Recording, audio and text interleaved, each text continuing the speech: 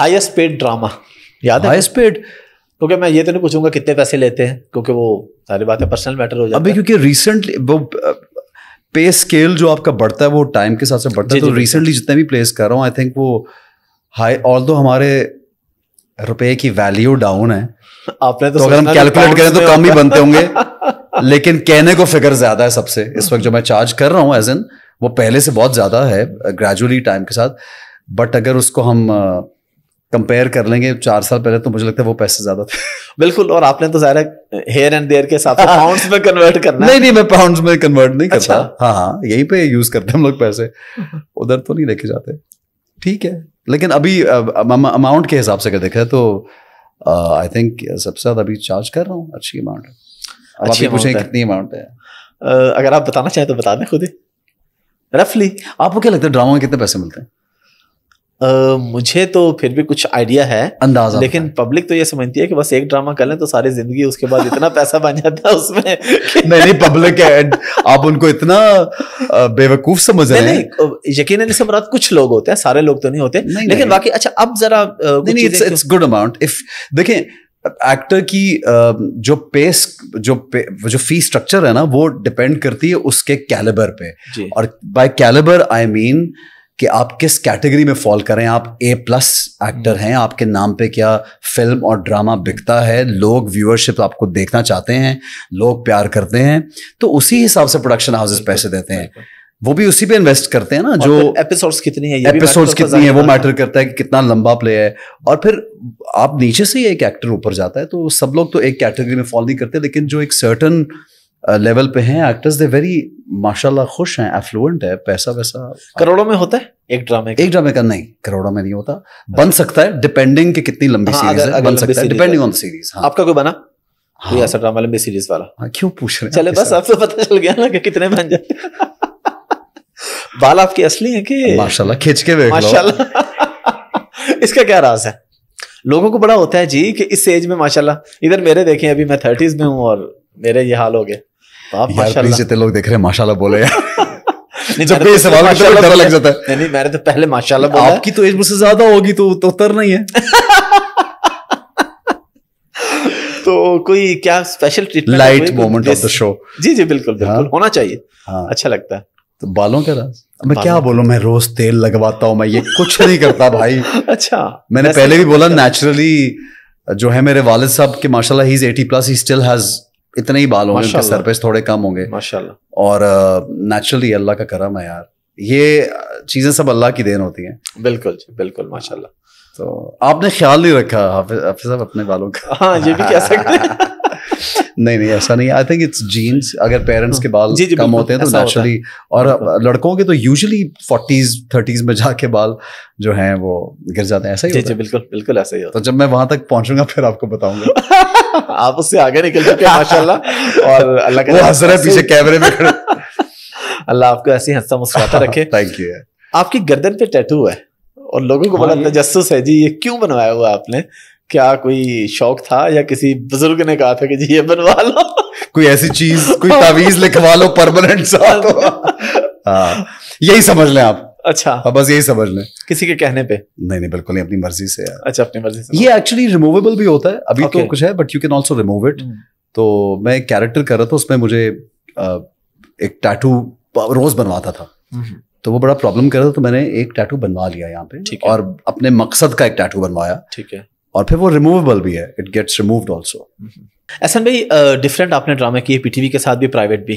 क्या आप उसको कंपेयर कर सकते हैं कि कहाँ पे ज़्यादा मज़ा है पैसा तो ऑफकोर्स प्राइवेट चैनल्स में ज़्यादा होगा।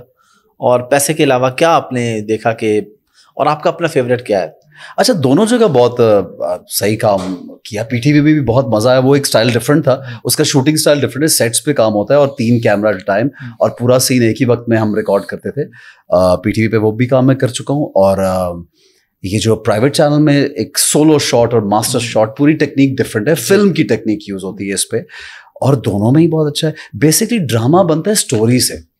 अगर आपकी स्टोरी अच्छी है अगर आपका किरदार अच्छा है कहानी अच्छी है और अगर एक आर्टिस्ट उसको एंजॉय कर रहा है तो वो कहीं पे भी आप करें, चाहे वो स्टेज पे हो, चाहे वो फ़िल्म हो, चाहे वो पीटीवी का प्ले हो, चाहे वो प्राइवेट चैनल का ड्रामा हो तो उसको आप एंजॉय सिर्फ़ तब कर सकते हैं, आपको अच्छा तब लग सकता है जब आप का किरदार अच्छा है और वो लिखा अच्छा हुआ है तो वो कहीं पे भी हो सकता है। बट मुझे तो दोनों जगह पे काम करके बहुत मज़ा आया बिकॉज़ दोनों से ही मैंने सीखा, मैंने पीटीवी से आगाज़ किया अपनी करियर का तो उनसे सीखा मैंने बहुत है।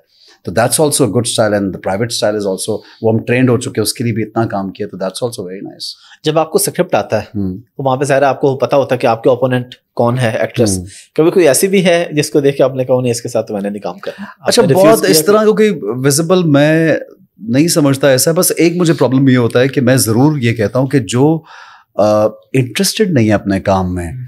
या जो लेट आने वाले हैं बहुत सेट पे हम लोग भी कभी देर सवेर हो जाती है एक दो घंटे की बट एट टाइम्स कभी किसी ने ऐसा किया हो कि यार वो चार बजे आएँगे कोई सेट पे या दो बजे आएँगे कोई भी एक्टर होता है दूसरा तो आप जो टाइम पे जाने वाला होता है ना उसको बहुत प्रॉब्लम होती है बिकॉज़ hmm. मैंने अगर किसी को पचास दिन दिए हैं तो वो ड्रामा सत्तर दिन में खत्म होगा और मेरा मैंने तो कॉन्ट्रैक्ट पचास दिन का किया हम्म। और I have to move on dates आगे किसी और को दी होती हैं। सो so, वो प्रॉब्लमैटिक हो जाता है। So I just I like working with professional people only मुझे जहाँ पे थोड़ा सा भी ये फील हो कि वो अपने किरदार में इंटरेस्टेड नहीं है वो मुझे वो सीन में इंटरेस्टेड नहीं है। uh, कोई भी एक्टर हो चाहे वो बाप बने हो माँ बने हो या uh, मेरी हीरोइन हो या कोई दूसरे किरदार होते हैं ड्रामा में। So I just I just can't work with उन लोगों के साथ काम करना मुश्किल होता है। तो ऐसा कोई रिफ्यूज किया कभी आपने? शायद एक का दफ़ा किसी को बोला ज़रूर होगा कि प्लीज़ आप देख लीजिएगा कि जो भी आप एक्टर साइन कर रहे हैं तो उसमें वो लोग आप साइन कीजिए जो प्रोफेशनल लोग हैं। If they are not interested in this work they should do something else यार। Because hmm. वो उससे ये होता है कि मैं अगर चार बजे जा रहा हूँ मेरे बाकी लोग मेरा वेट कर रहे हैं सुबह से तो मैं उनका भी काम खराब कर रहा हूँ ना। तो वो किसी एक इंसान को सबका काम खराब नहीं करना चाहिए। नहीं इस चीज़ के तो मैं भी सेकंड करूँगा हाँ। क्योंकि आपने यहाँ पे आने से बीस मिनट पहले मुझे कॉल की हाँ कि मैं पूछा कि जी हाँ जी मैं आ रहा हूँ जी क्या आप रेडी हैं? जाऊँगा रेडी हैं। हाँ। बिल्कुल ये बड़ी अच्छी चीज़ है कि हम लोग दूसरे का भी टाइम ना वेस्ट इस काम में इतने इतना अरसा गुजर गया है और अब ये होता है कि बस काम करें यार और आगे चलें। तो वो एक नेचर बन गई हुई है कि काम बस हो जाए। तो इसलिए वो जो फालतू टाइम वेस्ट नहीं होता ज़िंदगी का। एहसन भाई बहुत शुक्रिया आपके टाइम का। आपका शुक्रिया। बड़ा मज़ा आया बड़ी बेहतरीन और खासतौर पे एंड पे जो हमने जरा हँसी मज़ाक ये भी बड़ा बेहतरीन हो गया। थोड़ा सा सीरियस हो गया सीरियस तो आप थोड़ा सा ज़्यादा। अच्छा कर लिया। लास्ट पे आप पब्लिक को कोई मैसेज देना चाहें खासतौर पे हमारी यंग जनरेशन जो रातों रात कामयाब होना चाहती है उनके लिए लाजमी क्योंकि लोग चाहते हैं हम एक्टिंग में आए या कहीं भी तो एक रात में हमारा ड्रामा फ़िल्म वायरल होनी चाहिए या हम कोई भी काम कर रहे हैं हो भी सकती है। अच्छा करें हो सकती है लेकिन मैं सिर्फ़ एक बात पे यकीन रखता हूँ और मुझे लगता है कि सबको इस बात पे ज़रूर गौर करना चाहिए कि अपनी डिग्निटी पे कॉम्प्रोमाइज ना करें कभी ज़िंदगी में। यानी इज़्ज़त से बड़ी और कोई चीज़ नहीं है दुनिया में। पैसा और बाकी तमाम चीज़ें इज़्ज़त के बाद रखें। तो अब आपकी रिस्पेक्ट अगर कहीं चली जाती है क्योंकि हमारे लोग ये भूल जाते हैं कि कुछ भी किसी की चीज़ के पीछे भागने में या कुछ कमाने में कुछ भी कर लो यार। हम्म, हम्म, हम्म। लेकिन प्लीज़ अपनी you can get famous and viral but that's very temporary और वो दिलों में आप जगह बनाना आप की पहचान बन जाएगी लेकिन दिलों में जगह नहीं बनेगी। तो अपनी डिग्निटी को कॉम्प्रोमाइज़ ना करें। कोई भी बाशोर इंसान कोई भी बाशोर कौम दुनिया भर में आप जहाँ भी देखते हैं वो लोग अपनी रिस्पेक्ट अपनी इज़्ज़त अपने शूर अपने डिग्निटी पे कॉम्प्रोमाइज़ नहीं करते। तो आपकी भी ये कोशिश होनी चाहिए कि do not compromise on your dignity ये ज़रूरी है बस। Thank you very much thank you so much बहुत शुक्रिया आपका। Thank you